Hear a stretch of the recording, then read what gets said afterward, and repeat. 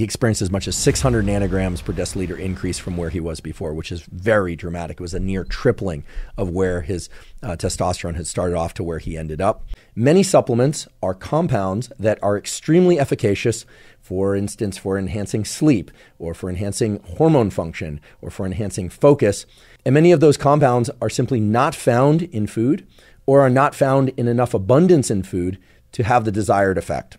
I'd like to take a step back and focus on the larger theme of today's episode, which is how to think about supplementation in a rational, cost effective, and biologically effective way for each of these categories. And the three categories that I'm going to cover are sleep, hormone support, and cognitive enhancement and focus. Cognitive enhancement and focus being the final third category. Let's talk about sleep and the rational approach to thinking about supplementation for sleep. First of all, you should ask yourself how well, that is, how deeply, and how much are you sleeping per night.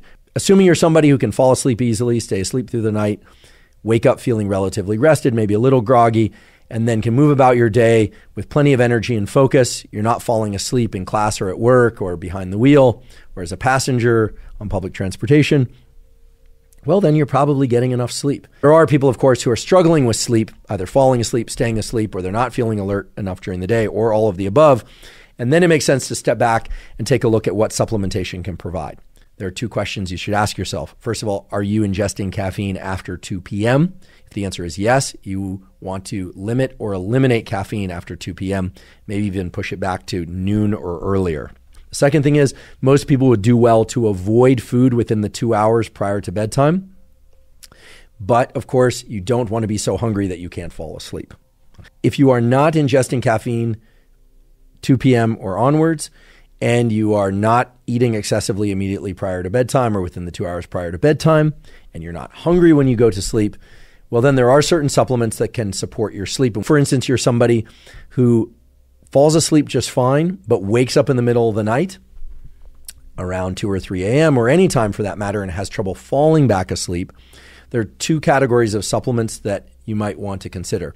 The first is myo-inositol, typically taken as 900 milligrams of myo-inositol. Myo-inositol can help shorten the amount of time that it takes to fall back asleep if you wake up in the middle of the night. Other people who wake up in the middle of the night will wake up because their dreams are very intense or they were having dreams that were so vivid that suddenly they were jolted from their dreams.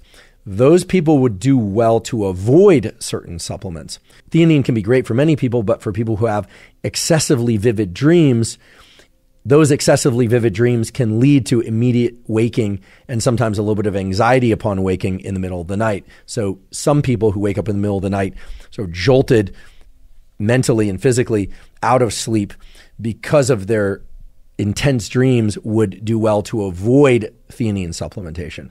Now, for those of you that are not waking up in the middle of the night or not having excessively vivid dreams, but are having trouble falling asleep, two supplements in particular have been shown to be effective for shortening the transition time to sleep and allowing people to ease into sleep more readily. And those are magnesium threonate, which is interchangeable with magnesium bisglycinate. People who take those often find that their transition time into sleep is much faster and their sleep is also much deeper. Incidentally, those supplements are also thought to be useful for cognitive support and neuroprotection, although there's less data on that. And then the other supplement is apigenin, A P I G E N I N. Apigenin, which is a derivative of chamomile, also acts as a bit of a anxiety lowering compound, which is essential prior to sleep for people to essentially turn off their thinking or to be able to reduce the amount of ruminating and problem solving and future anticipation that they're doing, which is a requirement for falling asleep. So, what's the rational approach to supplementing in a way that allows you to fall asleep more quickly and stay asleep? Would you immediately take magnesium threonate and apigenin together? Well, that depends. If you have the budget and you just simply want to fall asleep quicker and you don't care which of those two ingredients is going to be more effective for you, well, then you could try one for instance, magnesium threonate and try it for perhaps a week and see how that affects your latency to sleep time. That is how quickly you fall asleep.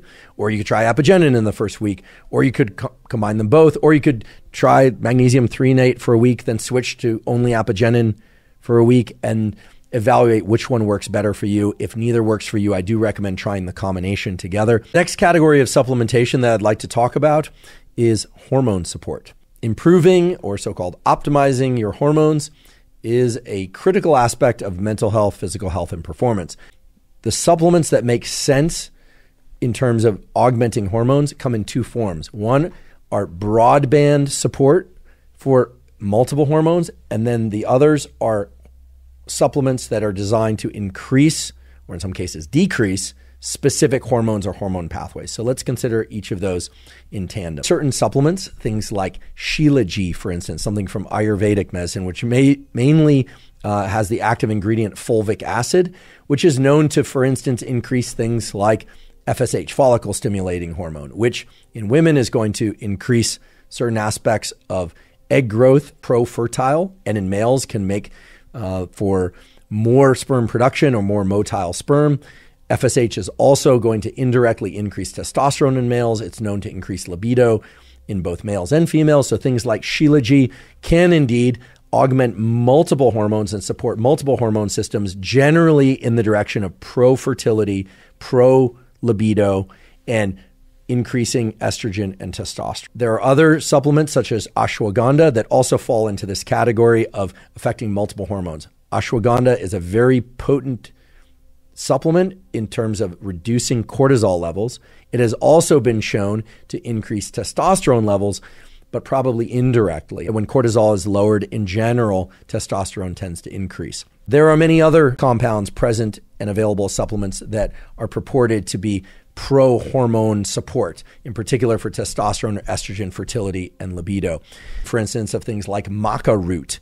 Maca root can increase libido. It's found to be particularly effective in women, but in men as well, and in all people who are suffering from lowered libido due to intake of SSRIs, selective serotonin reuptake inhibitors, for whatever reason. Okay, now with all that said, I'd like to provide some examples of supplements that work more directly on specific hormone pathways aimed at achieving more specific goals, such as elevated testosterone or elevated free testosterone or elevated growth hormone. I'd like to talk about growth hormone first because it's actually a pretty short discussion. First of all, the best way to augment growth hormone is to get quality deep sleep, especially the sleep that occurs in the first three or four hours of the night, is when growth hormone is released.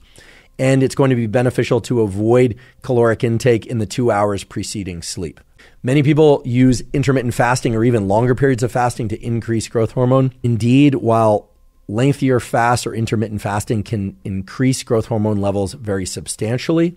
It has indirect effects on the genetic pathways and the receptors for growth hormone that actually are detrimental for the function of growth hormone. So, avoiding food for the two hours prior to bedtime is a good idea. If you avoid food for longer, that's just going to assist even more.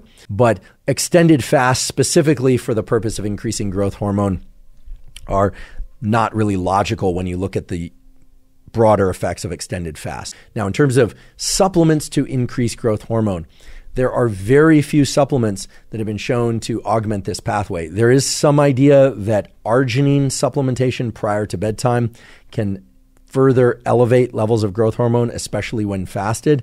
That literature is rather weak. Not a lot of supplements out there to increase growth hormone potently.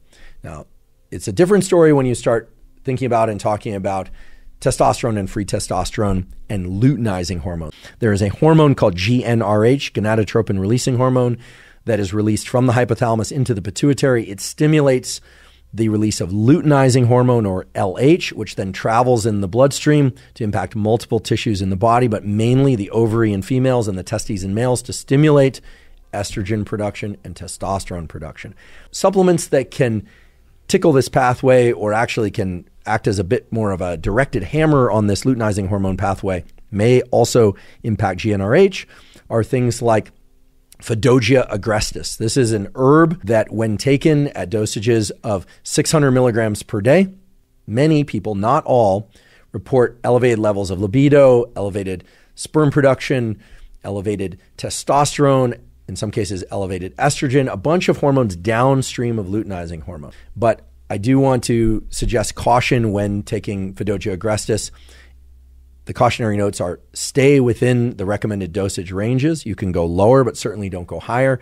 And I think it is wise to cycle every eight weeks or so to come off it for two weeks and then going back on if that's your choice, if you feel it benefited you. Or taking it for 12 week periods of time and then cycling off for a full month before repeating again. There are other supplements, in particular Tongkat Ali, which is known to, for instance, increase libido. Whether or not it does that by way of augmenting dopamine related pathways or testosterone pathways still isn't clear. It is known to increase free testosterone by reducing sex hormone binding globulin. Tongkat Ali can be beneficial both for men and for women. Dosages anywhere from 200 milligrams to 600 milligrams per day. One individual I know who took Tongkat Ali, uh, admittedly on my recommendation, his testosterone was initially very low and he was having a number of different symptoms. He did blood work and he then took Tongkat Ali and Fadogia in combination and he experienced big increases in testosterone. This would be uh, not free, but total testosterone. He experienced as much as 600 nanograms per deciliter increase from where he was before, which is very dramatic. It was a near tripling of where his uh, testosterone had started off to where he ended up. To my knowledge, Tongkat Ali does not need to be cycled, meaning you don't have to take periods of time off from it. I should note that the effects of Tongkat Ali can take a little bit longer to experience. The next category of supplementation that I'd like to address is supplements related to cognitive enhancement and focus. And here there are a number of very useful strategies that one could take. I'd like to divide this conversation into two general categories of supplements to address cognitive enhancement and focus. The first category are supplements that increase energy by way of stimulant properties. So, the most obvious of these is caffeine. Caffeine is, of course, a molecule that can increase levels of alertness. It also can increase levels of focus, provided that dosages are in the appropriate range.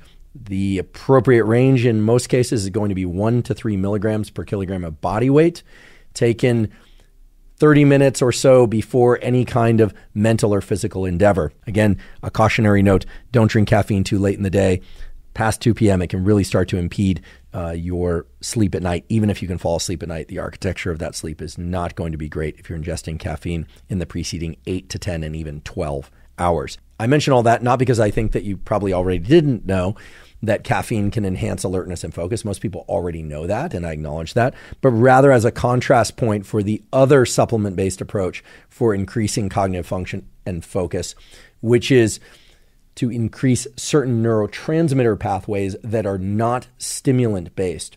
So, for instance, alpha GPC, which is essentially a choline donor, acts in the pathways related to the neuromodulator acetylcholine and can enhance focus. Dosages of anywhere from 300 to 600 milligrams.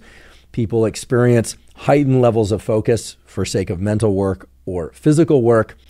The half life of alpha GPC is about four to six hours, so it's relatively short lasting, although you wouldn't necessarily want to take it right before bed. I don't recommend that. So, for instance, 300 milligrams to 600 milligrams of alpha GPC taken alone will allow people to be more focused, but doesn't tend to make people feel jittery or overstimulated. Similarly, 500 milligrams to 1,000 milligrams of something like L-tyrosine, which is an amino acid precursor to dopamine, what people tend to experience is that the cholinergic stimulation from alpha GPC and the dopaminergic stimulation from L-tyrosine leads to increased levels of focus without the kind of overall feelings of stimulant-based alertness that one would experience with caffeine. I do think that there's a category of supplements that can greatly enhance the probability of offsetting depression and maybe even improve mood directly or indirectly and or offset the amount of antidepressant medication that people need to take that's also been demonstrated and improve metabolic function cardiovascular function, and also enhance our ability to do focused work. And here I'm referring to the so called omega 3 essential fatty acids, in particular the omega 3 form of the essential fatty acids. Ingesting one to three grams of EPA in particular in the form of either fish oil capsules or liquid can be beneficial for a number of different aspects of brain and body health and can enhance focus and cognitive ability.